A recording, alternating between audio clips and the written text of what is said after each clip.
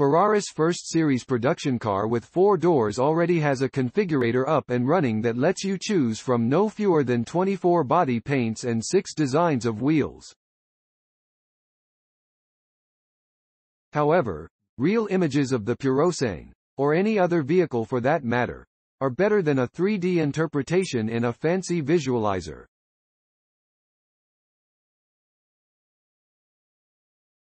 Pre-production prototypes in different colors and some leftover camouflage have been spotted in Maranello just outside the factory.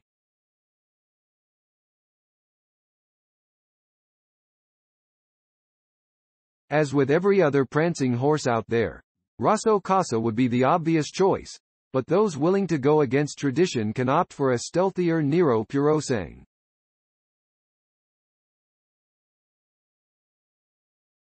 This test vehicle had the all-black treatment as the wheels were color-coordinated with the dark body.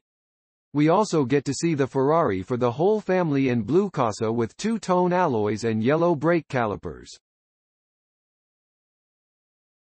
Of the three cars, this blue one would be our pick.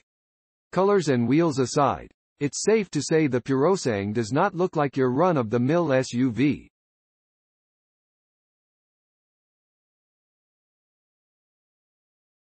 It's more along the lines of an ultra-aggressive oversized hatchback featuring suicide doors and Roma influences.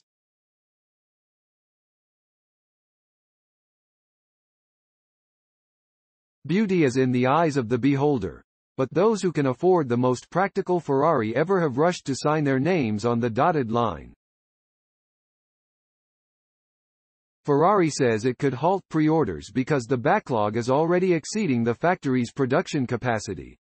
Join owners and enthusiasts discussing this topic at Ferrari Chat. Com.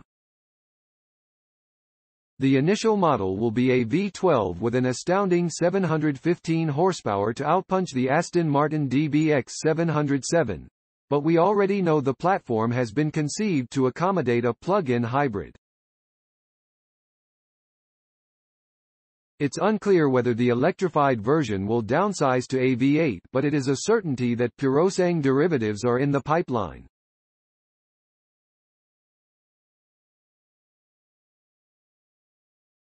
An eight-cylinder unit would make the vehicle more popular in certain markets where there are huge taxes on large displacement engines.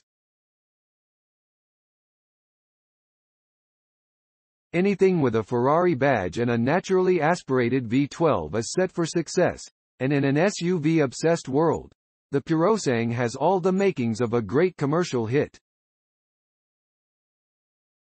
However, the Italians have pledged to limit production to 20% of the company's total annual volume.